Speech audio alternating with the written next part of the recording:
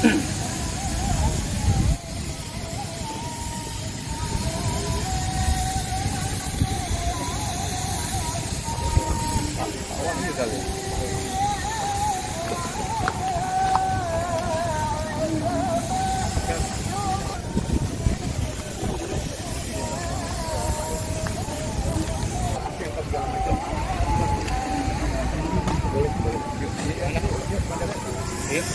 Wawancara lagi, Bran.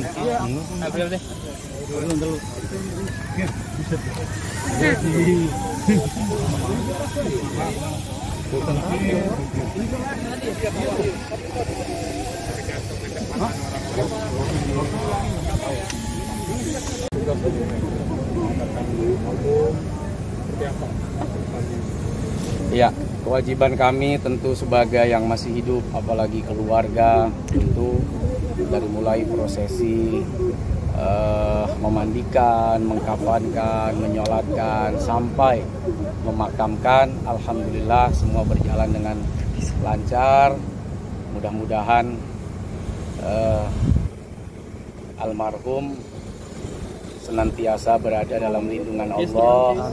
Tentu ini adalah malam pertama yang sangat menentukan bagaimana keadaan almarhum. Kita yang hidup hanya bisa mendoakan dan berharap semoga Allah Subhanahu wa taala mengampuni segala dosa, memaafkan salah dan menerima segala amal kebaikan dan ibadah beliau.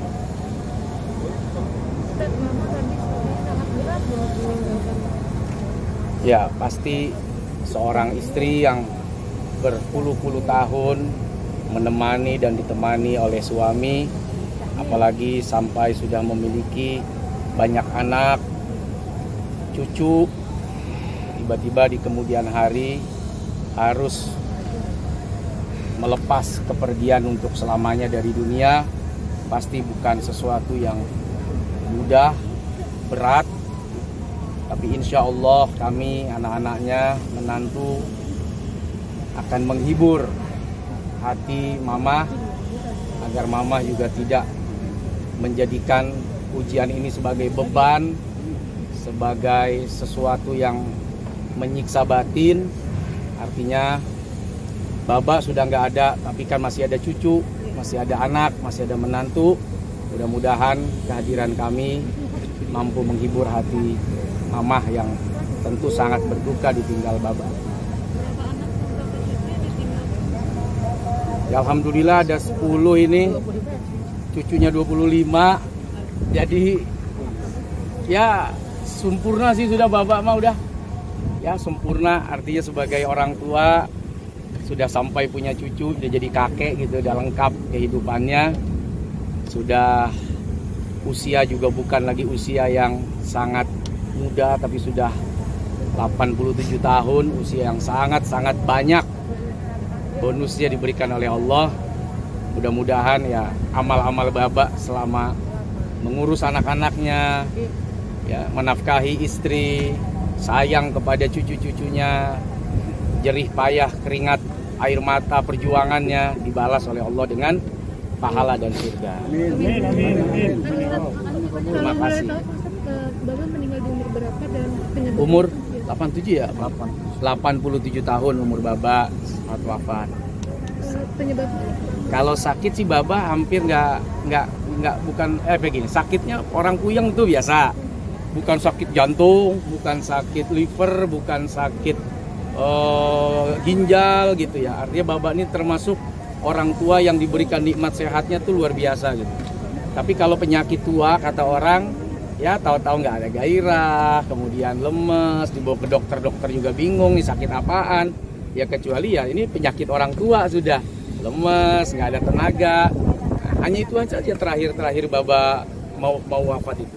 Ada keluhan nggak sih sebelum almarhum Baba ini uh, meninggal gitu maaf? Saat Kalau keluhan nggak ada ya, abang ya. Alhamdulillah nggak ada. Baba tuh orangnya ceria sampai abang cerita mau meninggal tuh masih bercanda sama cucunya tadi tuh si Sofia. Masih bercanda, masih nyubit, masih ini, terus masih melukin anak-anaknya semua. Jadi kayak nggak ada yang ditakuti gitu, nggak ada yang dikhawatirkan. Nggak lama habis terakhir Kak Dede dipeluk, meninggal Baba. mungkin sebelumnya udah punya firasat wafat firasat double untuk wafat Ya mungkin abang Ya, ada firasat apa Baba? kalau firasat ada, gitu loh. Kalau firasat itu ada, kalau jadi waktu eh, saat dua hari, dua hari sebelumnya. Itu saya juga mimpi. Bukan nyobeng. itu dipanggil gitu loh, kayak gitu. Dan pada waktu sholat maghrib, saya pun dibisikin, bapak orang tua saya setelah Aisyah pergi. Itu yang saya sedih banget kehilangan kedua kehilangan orang tua saya bapak saya seperti itu firasatnya mungkin sosok Baba sendiri di mata keluarga seperti apa? Bapak itu di keluarga saya itu sosok pemimpin yang paling disiplin. Gitu loh. Dari cara dia untuk melakukan sama anak-anaknya itu sangat disiplin sekali. Gitu loh. Dari dari sholatnya dari ininya semuanya itu paling strength ibaratnya seperti itu oke terima kasih banyak. Terima kasih teman-teman ya. Duka cita. Terima kasih. Maafin ya. Sabar Ustaz. Ya doanya selalu insya Allah. Malam ini mungkin ada tahlil. Kalau mau berhadir silakan. Mudah-mudahan. Oke.